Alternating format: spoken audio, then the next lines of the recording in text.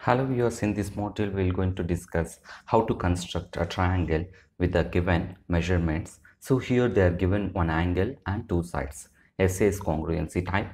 So, so angle A given, we can draw CA or AR as first one. Why? Because A is this angle A, A is presented in both the line segments.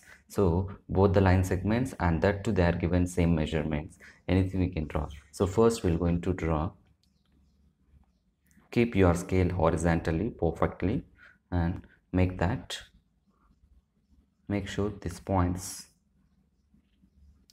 So join both the points so what is that make it make that that let, let ar equal to 8 centimeter.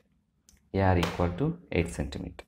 Then we need to take angle at keep your protractor with the center with the center a and measure angle from right side. Why? Because down AR line is coincide right side to the this protractor 0 degrees so which line is coincide to which side from that side we need to take it at angle. This line is coincide with the protractor 0 line here. So from that we need to measure angle from this side right left. So it is anti-clockwise we need to measure. So 0 10 20 30 40 50 60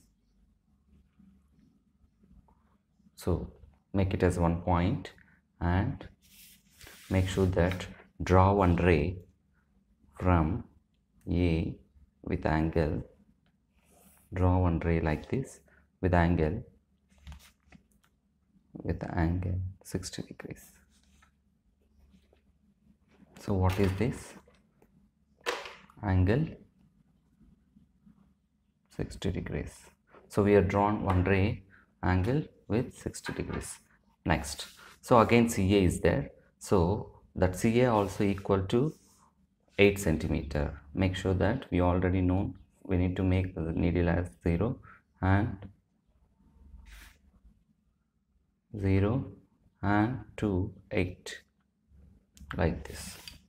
So this is the length of 8 centimeter. And A has a center. A as a center. Draw one arc which will go inside going to coincide and which will going to intersect ray at some point. So make sure that this point will be this point will be C and join CR join CR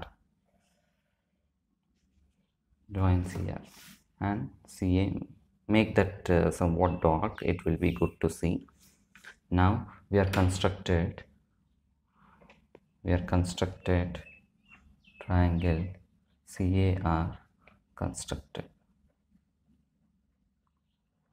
Join CAR constructed. And what they are asked is what is the CR length? So what is the length of CR what is the length of CR is it is also equal to 8 centimeter. And AC is also equal to 8 centimeter.